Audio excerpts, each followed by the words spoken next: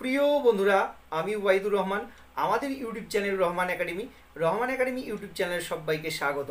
আজ আমি ভারতীয় দর্শনে একটি ভীষণ গুরুত্বপূর্ণ এবং ইন্টারেস্টিং বিষয় নিয়ে উপস্থিত হয়েছি। বিষয়টি হচ্ছে চারবাক দর্শন। আজকে তোমাদের সামনে খুঁটিনাটি তথ্য এবং কী ধরনের প্রশ্ন হয় এবং কেমন করে উত্তর লিখবে তা নিয়ে বিস্তারিত আলোচনা করব আজকের এই ভিডিওটিতে। তো ভিডিওটি শুরু থেকে শেষ পর্যন্ত দেখো। ভিডিও যদি ভালো লাগে বন্ধুর মধ্যে প্রচুর শেয়ার করো আর নতুন এই চ্যানেলটিকে সাবস্ক্রাইব করে বেল আইকন টাচ করে এবং নোটিফিকেশন অল করে রাখবে। কারণ আমি তোমাদের পরবর্তী ভিডিও অর্থাৎ বৌদ্ধ দর্শন নিয়েও আবার উপস্থিত হব। এইভাবে তোমাদের ধারাবাহিক আলোচনা এবং প্রশ্ন উত্তর পর্ব দিয়ে তোমাদের একাদশ শ্রেণি অথবা বি ক্লাস যারা পড়ছো জেনারেল বা পাশে জেনারেল বা অনার্সে তাদেরও এই ভিডিওটি ভীষণ গুরুত্বপূর্ণ। তো সো শুরু করে দিই আজকের আলোচনা চারবাক দর্শন। তো চারবাক দর্শনে যাওয়ার আগে আমি তোমাদের পূর্বে একটু নিয়ে যাই ভারতীয় দর্শনে। ভারতীয় দর্শনের আমরা আস্তিক, নাস্তিক এই দুটো সম্প্রদায়কে আমরা দেখেছিলাম। আস্তিক তাদের বলা হয়, যারা বেদে বিশ্বাসী তারা আস্তিক, যারা বেদে অবিশ্বাসী তাদের নাস্তিক। আস্তিক সম্প্রদায় ছয়টি, ন্যায়, বৈশেষিক, সাংখ্য, মীমাংসা, যোগ, বেদান্ত আর নাস্তিক সম্প্রদায় হচ্ছে তিনটি চারবাক বৌদ্ধ, জৈন। আজকে আমাদের আলোচনা চারবাক চারবাকদেরকে আমরা আজকে এই ভিডিওতে সম্পূর্ণ আলোচনা করব চারবাক নিয়ে। তো চারবাকরা হচ্ছে চরমপন্থী নাস্তিক। আমরা পূর্বেই দেখেছি ভারতীয় দর্শন পড়তে গিয়ে। তো চারবাক শব্দটির উৎপত্তি নিয়ে অনেকের মধ্যে মতপার্থক্য আছে। কেউ কেউ বলেছেন চারুবাক বা মিষ্টি কথা থেকে, মিষ্টি কথা থেকে চারবাক শব্দটির অর্থ হয়েছে। কারণ চারবাকরা যে কথা বলতো, লোকের কাছে, সাধারণ লোকের কাছে, শ্রুতিমধুর হতো। বা শ্রুতিমধুর কথা বলে গেছেন বলেই এই দর্শন নামকরণ হয়েছে চারুবাক। অর্থাৎ চারু শব্দের অর্থ মিষ্টি বা মধুর, বাক শব্দের অর্থ কথা। তাহলে সাধারণ লোকের কাছে তাদের কথা বা শ্রুতিমধুর হয়েছে বলেই এই দর্শনের নামকরণ, চারবাক দর্শন হয়েছে। আবার কেউ কেউ বলেন চর্বধাতু থেকে চারবাক শব্দের উৎপত্তি। চারবাক দর্শনে একটি বিখ্যাত কোট আছে যে এই কোটটি এরকম যাবৎ জীবেত সুখং জীবেত, ঋণাঙ্কিতা, গেদাং প্রিবেত। এই বিখ্যাত উক্তি থেকে বোঝা যায় যে তারা বলেছিলেন, কি বলেছেন যতদিন বাঁচবে, সুখেই বাঁচবে, প্রয়োজনে ধার করে ঘি খেয়ে মরবে। এই যে বিখ্যাত উক্তি, তাতে থেকে বোঝা যায় চর্বধাতু থেকে চারবাক শব্দের উৎপত্তি। অর্থাৎ তারা ভোগবিলাসে মানে পারদর্শী ছিল। তো এই যে চর্বধাতু থেকে চারবাক শব্দের উৎপত্তি হয়েছে, অনেকে মনে করেন। খাওয়া দাওয়া, ফুর্তি করো, মরার পরে আর কোনো খবর নেই, যেহেতু পরকাল নেই, ঈশ্বর নেই, তাই তাদের কোনো মানে এই ধরনের কথা তারা আনিয়ে আসে কেউ কেউ মনে করেন চারবাক নামে একজন মুনি ঋষি ছিল, তার প্রবর্তিত মত পরবর্তীতে চারবাক দর্শন নামে বা চারবাক নামে অভিহিত হয়েছে। আবার কেউ কেউ মনে করেন যে দেবগুরু ঋষির অন্য নাম বৃহস্পতি, দেবগুরু বৃহস্পতির অন্য নাম হচ্ছে চারবাক। তাই এই দর্শনে চারবাক নামকরণ করা হয়েছে। এছাড়া চারবাক দর্শনকে বারহস্পত্য দর্শনও বলা হয়। চারবাক দর্শনকে লোকায়িত দর্শনও বলা হয়। কারণ সাধারণ লোকের কাছে এই মতবাদ ছিল খুবই প্রিয়। সাধারণ লোকের কাছে এই মতবাদ ছিল খুবই প্রিয়। অর্থাৎ লোকায়িত দর্শনে এভাবে বলা যায় যে চারবাকদের কোনো দার্শনিক নির্দিষ্ট সম্প্রদায় নেই। লোকমুখে প্রচলিত বলে এই দর্শনের নামকরণ করা হয়েছে লোকায়িত দর্শন। ঠিক আছে? তো চারবাকদের লিপিবদ্ধ কোন, কোনো গ্রন্থ নেই।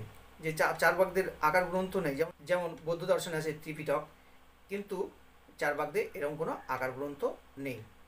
তো চারবাকরা তিনটি সম্প্রদায়ে বিভক্ত বৈতান্তিক সুশিক্ষিত, ধূর্ত। এবার আমরা আসব চারবাক দর্শনের মূল বক্তব্য। চারবাক দর্শনের মূল বক্তব্য হচ্ছে, প্রত্যক্ষই একমাত্র প্রমাণ। অনুমান প্রমাণ নয় অনুমানকে প্রমাণ বলে স্বীকার করা যায় না, শব্দকেও প্রমাণ বলে স্বীকার করা যায় না। তো আমরা দেখব চারবাক জ্ঞানতত্ত্বের উপরে চারবাক দর্শনটা দাঁড়িয়ে আছে। চারবাক জ্ঞানতত্ত্ব সম্বন্ধে তাদের মূল বক্তব্য তিনটি। এক নম্বর হচ্ছে, প্রত্যক্ষই একমাত্র প্রমাণ। প্রত্যক্ষই হলো একমাত্র প্রমাণ। অনুমানকে প্রমাণরূপে স্বীকার করে না, আর শব্দকেও প্রমাণরূপে স্বীকার করে না। শব্দকেও প্রমাণরূপে স্বীকার করে না। তাহলে এই তিনটে তাদের মূল প্রতিপাদ্য বা মূল বক্তব্য আমরা জেনে গেলাম। তো চারবাক দর্শনের প্রতিষ্ঠা ঋষি বৃহস্পতি, ওকে? ঋষি বৃহস্পতির অন্য নাম অনেকে মনে করে চারবাক চারবাক সম্বন্ধে আমরা একটু তথ্য পেলাম।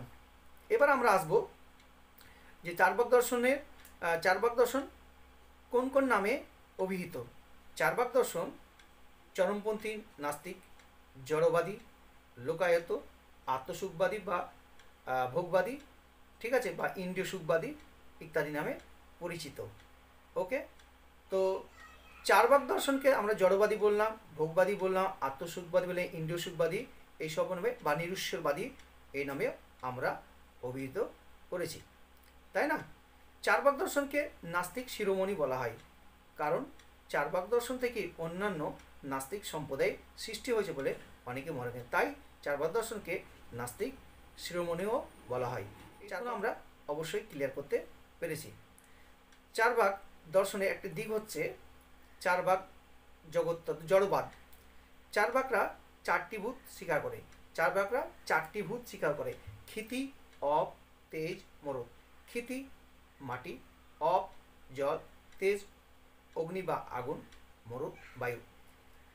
তো চারবাকরা জড়বাদী কেন? চারবাকটা চারবাক মতে জগতের সব কিছু এই চারটি ভূত দিয়ে তৈরি। যেমন দেহ, মন, প্রাণ ইত্যাদি। সব কিছুই এই জড় পরমাণু দিয়ে তৈরি বলেই চারবাক দর্শনকে জড়বাদী দর্শন বলা হয়। তো চারবাক দর্শন কি বললাম? জড়বাদী দর্শন, চারবাক দর্শন, লোকায়ত দর্শন, চারবাক দর্শন, নাস্তিক শিরোমণি দর্শন, চারবাক দর্শন, আত্মসুখবাদী দর্শন বা ইন্দ্রিয় সুখবাদী দর্শন বা ভোগবাদী দর্শন, এগুলো আমরা চারবাক দর্শনকে পেয়ে গেলাম। তা আর কি? চারবাকরা কোন কোন জিনিসকে অস্বীকার করে? চারবাকরা প্রত্যক্ষকে একমাত্র প্রমাণ রূপে স্বীকার করে অনুমানকে অস্বীকার করে, শব্দকে অস্বীকার করে, ঈশ্বরকে অস্বীকার করে, আত্মাকে অস্বীকার করে, সমস্ত কিছু, চারটি ভূত ছাড়া, জগতের সব কিছুই এবং বোম বা আকাশকেও অস্বীকার করে। তাহলে প্রত্যক্ষ কি অনুমান কি, শব্দ কি আমাদের জানতে হবে। প্রত্যক্ষ হচ্ছে বিষয়ের সঙ্গে ইন্দ্রিয়ের সংযোগের ফলে যে জ্ঞান সঠিক ও সুনিশ্চিত জ্ঞান উৎপন্ন হয় তাকে বলা হয় প্রত্যক্ষ। অনুমান কি? আমরা আগে বলেছি, জ্ঞাত বিষয় থেকে অজ্ঞাত বিষয়ে উপনীত হওয়াকে বলা হয় অনুমান। তো শব্দ কি বললাম?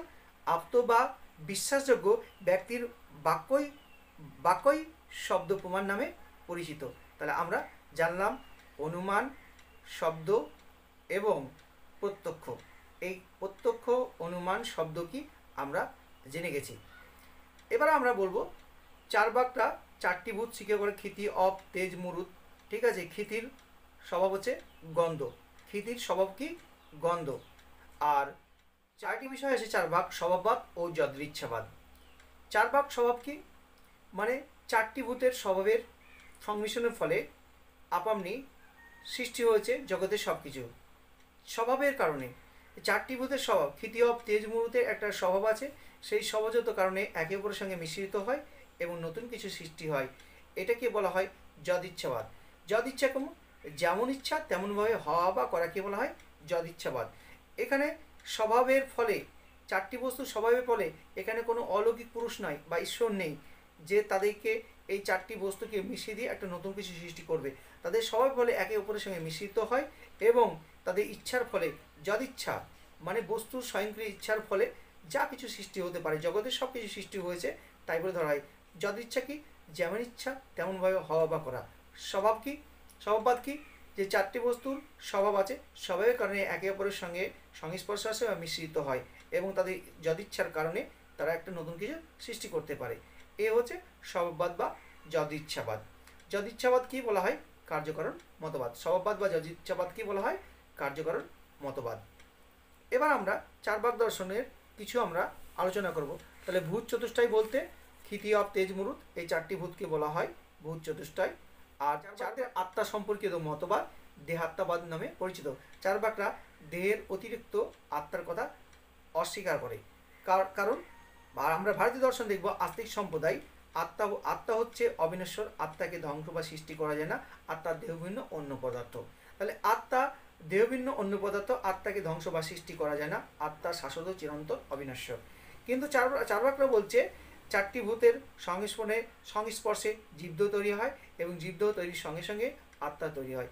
তারা আত্মাকে ভিন্ন পদার্থ রূপে স্বীকার করে না। চৈতন্য বিশিষ্ট দেহই আত্মা বলে তারা প্রচার করে। চারবাকটা শব্দ প্রমাণকেও স্বীকার করে না, কারণ চারবাকরা আপ্তবাক্যের বা কোনো বিশ্বাসযোগ্য ব্যক্তির শব্দকেও বিশ্বাস প্রমাণরূপে স্বীকার করে না। চারবাকরা আকাশ বা বোমকেও অস্বীকার করে। আরেকটা শব্দ আছে ব্যাপ্তি। ব্যাপ্তি কি হেতু ও সাধ্যে সহচার নিয়মকে বলা হয়। ব্যাপ্তি ব্যাপ্তিজ্ঞানকেও তারা অস্বীকার করে। ব্যাপ্তি একটা উদাহরণ দিই, ধোঁয়া ও আগুনের সম্পর্ক বলে ব্যাপ্তি সম্পর্ক। তাই ব্যাপ্তি কি? হেতু সাধ্যে নিহত সহচার নিয়মকে বলা হয় ব্যাপ্তি যেমন আগুন ও ধোঁয়ার সম্পর্ক। জগৎতত্ত্বের অপর নাম কি? স্বভাববাদ। আর স্বভাববাদের পরিণতি কি? যদিচ্ছাবাদ। যদিচ্ছাবাদ বা স্বভাববাদ আমি আলোচনা করেছি। যদিচ্ছাবাদ মানে যেমন ইচ্ছা তেমনভাবে হওয়া বা করাকে বলে যদিচ্ছাবাদ। ঠিক আছে? আর চৈতন্য হলো দেহের গুণ। চারবাক মতে চৈতন্য হলো দেহের গুণ। চারবাক মতে চৈতন্য হলো দেহের গুণ। জড়বাদ কি বলেছিলাম? চারবাক দর্শন অনুযায়ী জগতের সব কিছু দেহ, মন, প্রাণ, জড় পরমাণু সংযোগে উদ্ভূত, তাই চারবাক দর্শনকে জড়বাদী দর্শন বলা হয়। মনে থাকবে তোমাদের? আর চারবাক দর্শনকে নাস্তিক শিরোমণি বলা হয়েছিল কেন? চারবাক দর্শন থেকেই অন্যান্য নাস্তিক সম্প্রদায়ের উৎপত্তি। চারবাক মতে জগতের পরম উপাদানগুলি কি কি? চারবাক মতে জগতের পরম উপাদানগুলো হলো ক্ষিতি, অপ, তেজ, মরুদ। এই চারটি হচ্ছে জগতের পরম উপাদান। চারবাক নীতিতত্ত্ব কী নামে পরিচিত? চারবাক নীতিতত্ত্ব সুখবাদ নামে পরিচিত। এটাকে বলা হয় চারবাক নীতিতত্ত্বকে স্থূলবাদ বা অমার্জিত আত্মসুখবাদও বলা হয়। কি বললাম? তোমাদের এরকম অপশন থাকতে পারে মানে এমসিকিউতে বা এসিকিউতে তোমরা এভাবে লিখবা। চারবাক নীতিতত্ত্ব স্থূল বা অমার্জিত আত্মসুখবাদ বা সুখবাদ নামে পরিচিত। ওকে চারবাক মতে মানব জীবনের লক্ষ্য হলো ইন্দ্রিয় শিল্প। চারবাক মতে মানব জীবনের লক্ষ্য হলো ইন্দ্রিয় শিল্প। চারবাক মতে পরম পুরুষার্থ কাম, আর চারবাক মতে সহায়ক বা গৌণ পুরুষার্থ হচ্ছে অর্থ। ভূত চতুষ্টায়বাদ মেনেছে কারা? চারবাকরা। মানে চারটি ভূত স্বীকার করেছে কারা? ক্ষিতি অফ তেজ, মুরুদ, চারবাকরা। এবং বোম বা আকাশকে অস্বীকার করেছে। তো চারবাক দর্শনে আমরা আজকে খুঁটিনাটি তথ্য আলোচনা করলাম। এছাড়াও জন্মান্তরবাদ। চারবাকরা জন্মান্তরবাদকে অস্বীকার করে। এবার আমরা খুব সংক্ষেপে চারবাক দর্শনের কিছু তোমাদের আমি মূল্যায়ন করব মানে সার সংক্ষেপ বলব। চারবাক দর্শনকে বলা হয় লোকায়ত দর্শন, চারবাক দর্শনকে বলা হয় ভোগবাদী দর্শন, চারবাক দর্শনকে বলা হয় আত্মসুখবাদী দর্শন, চারবাক দর্শন বলা হয় চরমপন্থী নাস্তিক দর্শন, চারবাক দর্শন বলা হয় জড়বাদী দর্শন, চারবাক দর্শনকে বলা হয় নাস্তিক শিরোমণি দর্শন। চারবাক সম্প্রদায় তিনটি ভাগে বিভক্ত, সুশিক্ষিত বৈতান্ডিক ধূর্ত। ধূর্ত, সুশিক্ষিত বৈতান্ডিক চারবাক দর্শনকে চার চারবাক দর্শনে প্রত্যক্ষই একমাত্র প্রমাণ।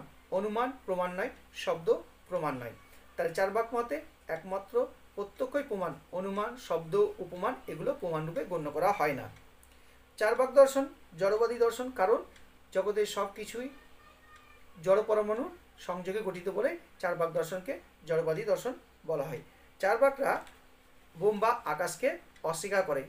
চারবাক স্বভাববাদ ও যদৃচ্ছাবাদের সাহায্যে জগতের উৎপত্তির ব্যাখ্যা দেন।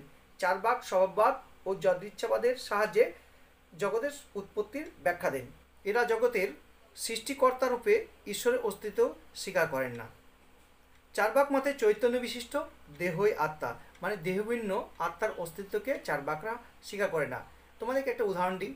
যেমন পান, চুন, সুপরি ক্ষয় ইত্যাদিকে চর্বণ করলে যেমন লাল রং উৎপন্ন হয়, কিন্তু শুধু পানকে বা সুপরিকে বা চুনকে বা ক্ষয়কে যদি আলাদা আলাদাভাবে চর্বণ করা হয়, তাহলে লাল রং উৎপন্ন হয় না। এই চারটিকে একসঙ্গে চিবালে পারে যেমন লাল লাল লাল রং উৎপন্ন হয়, অনুরূপভাবে চারটি পদ অর্থাৎ ক্ষিতি, অপ, তেজ, মুহূর্তের সংমিশ্রণের ফলে দেহে চৈতন্য আবির্ভাব ঘটে। এইভাবে তারা প্রমাণ করেছে। চারবাকরা কর্মবাদ ও জন্ম, জন্মান্তরবাদকে অস্বীকার করেছে। চারবাক নীতিতত্ত্ব সুখবাদ নামে পরিচিত মানে আত্মসুখবাদ বা অমার্জিত বা স্থূল সুখবাদ নামে পরিচিত। চারবাকরা কেবল দুটি পুরুষত্ব স্বীকার করেন, অর্থ ও কাম। পরম পুরুষার্থ হচ্ছে, একমাত্র পুরুষার্থ হচ্ছে কাম, আর সহায়ক পুরুষার্থ হচ্ছে অর্থ। ওকে, চারবাক মতে কাম হলো মুখ্য পুরুষার্থ, আর অর্থ হলো গৌণ পুরুষার্থ বা সহায়ক পুরুষার্থ। এই ছিল তোমাদের চারবাক দর্শনের সংক্ষিপ্ত আলোচনা। আলোচনাটি যদিও দীর্ঘ হলো, তোমাদের বিস্তারিত আলোচনা করলাম। এখান থেকে তোমরা সমস্ত প্রশ্ন উত্তর পেয়ে যাবে, আমি আশা রাখছি। আজকের আলোচনা এখানেই ইতি টানছি। যদি আলোচনাটি ভালো লাগে, অথবা চারবাক দর্শন সম্পর্কে কোথাও যদি কোনো কিছু ছুটে থাকে, তাহলে অবশ্যই তোমরা ধরিয়ে দিবে কমেন্ট বক্সে আমি পরবর্তীতে তোমাদের এই শুধরে দিয়ে আবার আমি বৌদ্ধ দর্শন নিয়ে আলোচনা করব। আজকের আলোচনা এখানে শেষ করছি। ভালো থেকো, সুস্থ থেকো, নিজের প্রতি খেয়াল রেখো। ধন্যবাদ।